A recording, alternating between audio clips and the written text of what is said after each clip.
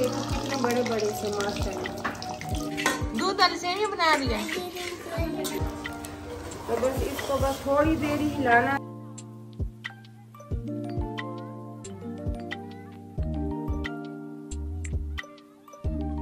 अस्सलाम वालेकुम सुबह हो चुकी है जी हम जाग चुके हैं मुँह शूँ धो लिया है अभी नहाए नहीं है।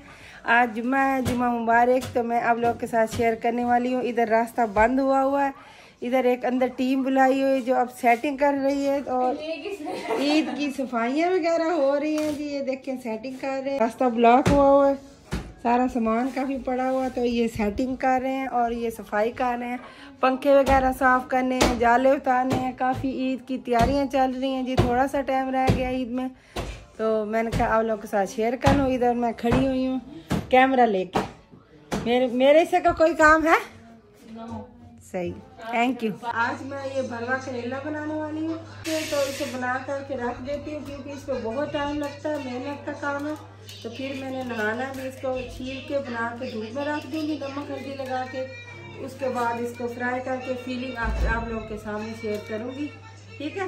ड्राइंग रूम की सेटिंग हो गई है। अब इधर करने लगे हैं पंखा। अब दूसरे कमरे का नंबर आ गया ये अब सीढ़ी लगा के ये देखिए ऊपर चढ़ गई है सवेरा। पहले यही पंखे साफ़ करती अब भी यही कर रही है। तो जैसे मैंने कहा कि कैमरा मेरे हाथ में मैं सारा कुछ शेयर करने वाली हूँ आप लोगों के साथ। ठीक है, अब जैसे और कमरा क्लियर हो जाएगा, मैं आप लोगों के साथ वो भी शेयर करूँगी। हाँ ये देखो, एक और बारी में खड़ी हुई है। ये हो जी तो है सीढ़ी उठा के जी। अगर मोटा बंदा सीढ़ी के ऊपर चढ़ता है तो वो ढह जाता है, सीढ़ी ढह जाती है। तो इसलिए इसको चढ़ाया हमने, यहाँ देखो यही चढ़ती है, यही करती क्योंकि ये स्लेम सी है तो आराम से चढ़ जाती है। ये सोफे के कपड़े हमने ला दिए जी, इनको भी वॉश करना है कपड़ों को। तो ये देख ले कचरा काफ़ी ऊपर से गिरा है जी। ये मेरी बड़ी सिस्टर आई है, ये सारा कुछ चुन चुन के कोने कोने से सफ़ाई करती है। ये कर रही है तो मैं अपना इधर खाना तैयार कर रही हूँ। और ये सवेरा वो सारा कुछ साफ़ कर रही, सारा कुछ चमक गया जी। वो डेक वगैरह अच्छी तरह साफ़ हो गई। वाह, बढ़िया। कीमा और ये नीचे इसके दाल है जी सारी। दो किलो कीमा और आधा किलो दाल है। और ये मैं ऊपर चढ़ा देती हूँ, फिर साथ साथ ये करेले भी बना के रख रही हूँ। आज बहुत काम है घर में। सफ़ाई भी चल रही है, खाना भी चल रहा है। ये मैंने ये काम शुरू कर लिया जी। मैंने कहा चलो ये करती हूँ। तो ये इसमें प्याज वगैरह लहसन डाल के ऊपर गलाने के लिए रख देती हूँ। तो ये अपना गलता होगा तो मैं अपना ये प्रोसीजर कर लूँगी। ये मैं आप लोगों के साथ शेयर करने वाली हूँ जी। इसको मैंने साफ़ कर लिया। सूखे मसाले जितने भी आप घर में ग्राइंड करते हैं तो इसको थोड़ा सा भून लिया जाए तो उसकी खुशबू थोड़ी दुबाला हो जाती है कि चाहे आप दाल बनाएँ। ऐसे मसाले बना के ड्राई रोस्ट करके, हल्की आँच पे सिर्फ़ एक से दो मिनट इसको मैंने करना है, फिर इसको पीस लेना अब कोई भी दाल बनाए, बर्ता बनाए, उसमें ये भुने मसाले घर में पीस के इस्तेमाल करो तो खुशबू दुबाला हो जाती है, दूर दूर तक खुशबू जाती है। और साथ साथ मैं ये आप लोगों के साथ ये भी शेयर कर लेती हूँ। आज काम बहुत ज़्यादा, अभी तक मैंने नमाज़ भी नहीं पढ़ी, मैं इसके अभी तक पीछे लगी हुई जो ये हल्दी और नमक है। मिक्स करके इसको मैं लगा के धूप में रख देती हूँ पंद्रह बीस मिनट के लिए। तो फिर मैं नमाज़ पढ़ के इसका हाथ चेक करूँगी, इसको बुखार है या नहीं। ठीक है? इसकी ये मेरी है ना अंदर आके जबूर। ये जबूर है जी हाँ का। हाँ फ्रेंड्स अच्छा जी, अल्हम्दुलिल्लाह, आप लोगों को नज़र आ रहा होगा अब मैंने फ्रेश हो गई हूँ ना धो लिया जी। अब मैं ये कीमा जो मैंने बॉइल किया उसको कूटने लगी हूँ इसमें। दौरे सोटे में पा पा के उसको गुस्से से कूटना। इतना गुस्से से नहीं कूटना कि आपका दौरा ही भाग जाए आराम से उसको ऊपर बिठाए ये बैठ जाए वो छोटी नहीं।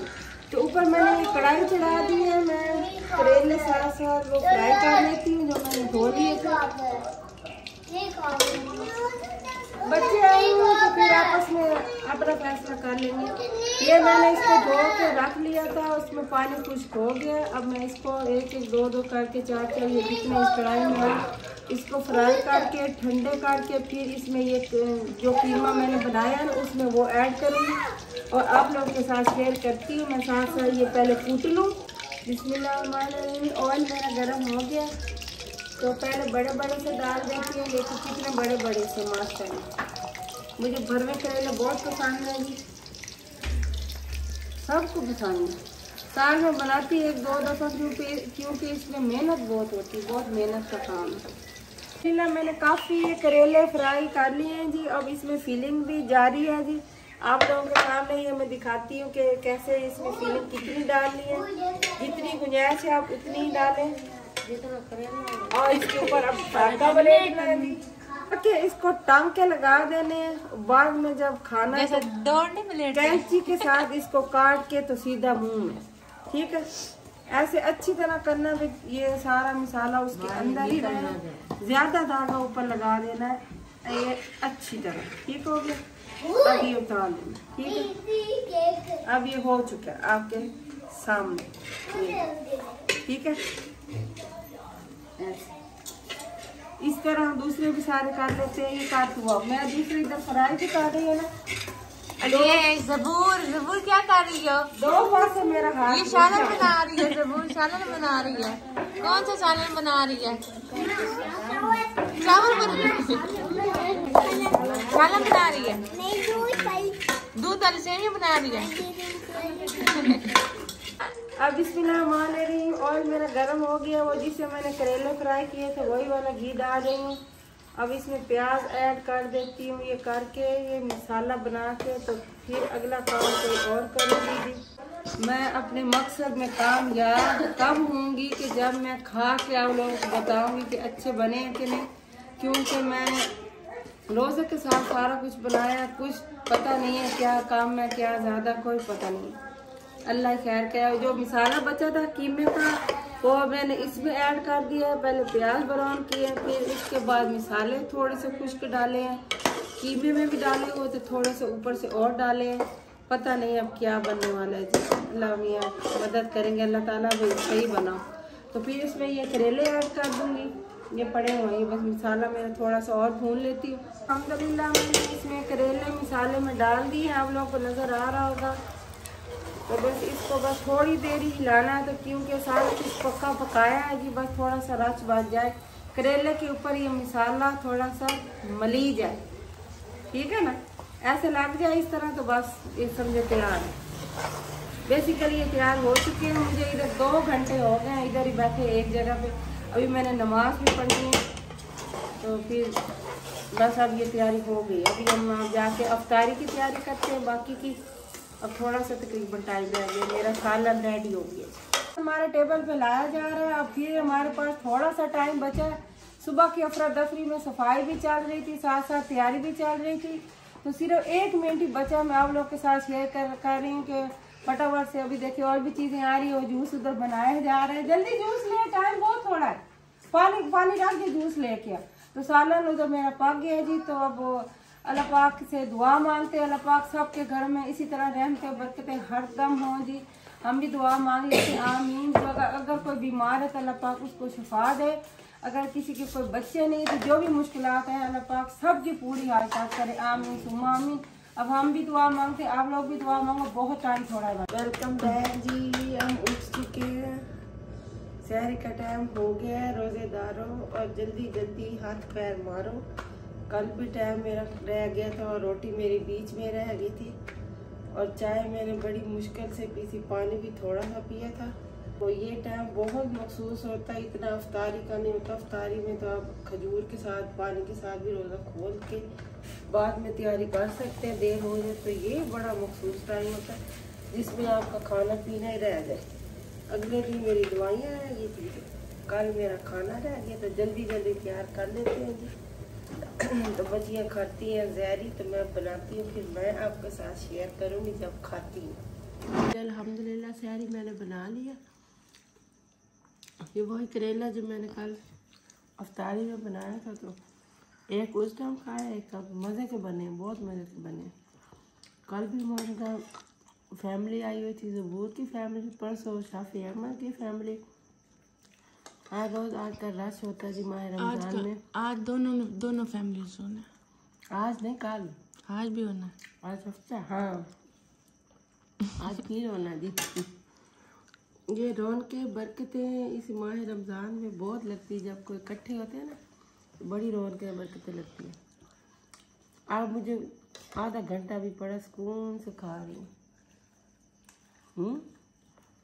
कल नहीं टाइम था मेरे पास मैंने तो सकून ना खावन दो तू सालन न खा सकून ने क्यों खानी थी सालन को हाथ कैमरा पर दो है सालन न खा सकून ने अभी अल्हम्दुलिल्लाह हमने सैर ही कर ली है जी बड़े पहले उठा लेते हैं तो अब ये मैं पीने लगी हूँ चाय अभी भी टाइम बहुत पड़ा इसलिए मैं आप लोगों के साथ बातचीत कर लेती हूँ और अब्दुल्ला तूने बहुत रोज़े रखे हैं जी, हमारे लिए भी दुआ करना।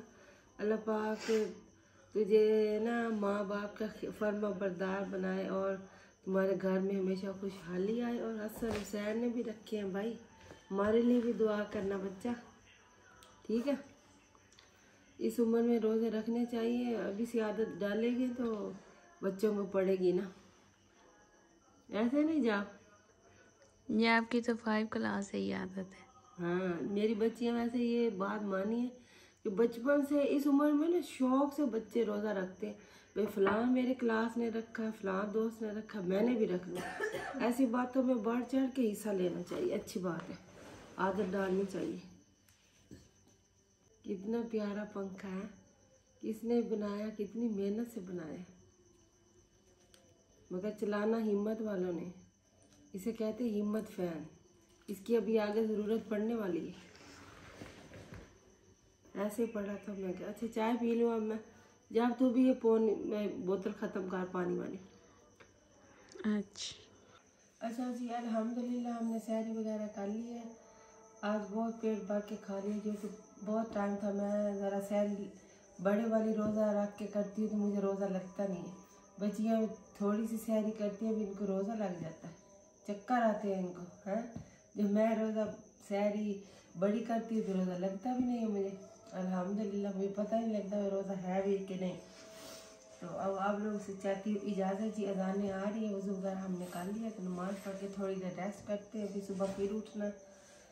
तो आप लोगों से चाहते हैं इजाज़त जी, अपना ढेरों ढेरों ख्याल रखना, ठीक है जी? अल्लाह पाक आपको कामयाबियाँ दे, सबकी मुश्किलें आसान करे। आमीन सुबह आमीन, मिलते हैं नेक्स्ट ब्लॉग में। बाय बाय, अल्लाह हाफिज़, टाटा।